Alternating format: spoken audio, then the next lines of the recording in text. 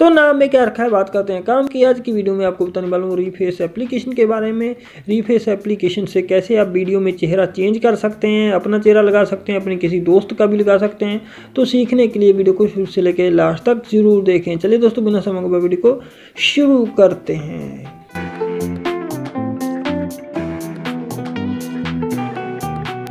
उसके लिए सबसे पहले जहाँ प्ले स्टोर में जाएँ। प्ले स्टोर में जाने के बाद आपने टाइप करना है रीफेस आर ई रीफेस ऐप ठीक है?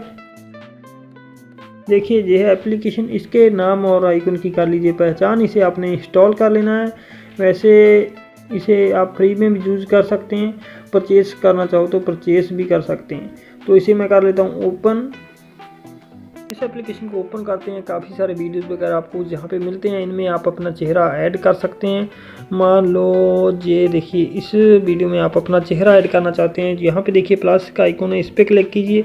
जहाँ पे क्लिक करने के बाद दो ऑप्शन है। कैमरा है गैलरी है। आप चेहरा अपना कैमरा से फ़ोटो क्लिक करके लाना चाहते हैं या फिर गैलरी से कोई फ़ोटो लेना चाहते हैं। जहाँ मैं कैमरा पे क्लिक करके आपको दिखा देता हूँ। देखिए, यहाँ आपने सेल्फी लेनी है। अभी यहाँ रात होने की वजह से लाइटिंग थोड़ी प्रॉब्लम है। अच्छी तरह से सेल्फी नहीं आने वाली, ठीक है? इसके बीचों बीच आपने अपना चेहरा लाकर फ़ोटो क्लिक कर लेना फ़ोटो क्लिक कर लेना है।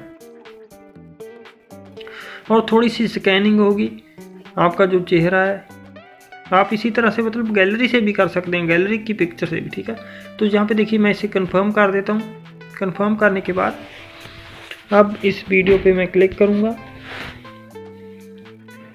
थोड़ी सी लोडिंग होगी। लोडिंग होने के बाद इसमें कुछ ऐड वगैरह आ सकते हैं क्योंकि हम फ्री में यूज़ कर रहे हैं। अगर आप फ्री में नहीं अगर आप परचेस करोगे तो कोई भी ऐड वगैरह नहीं आएगा ठीक है ना? जब मैं फ्री में यूज़ कर रहा हूँ। तो इसलिए यहाँ पे देखिए यहाँ इस वीडियो में मेरा चेहरा ऐड हो चुका है। अब इस वीडियो को मैं जहाँ से सेव भी कर सकता हूँ।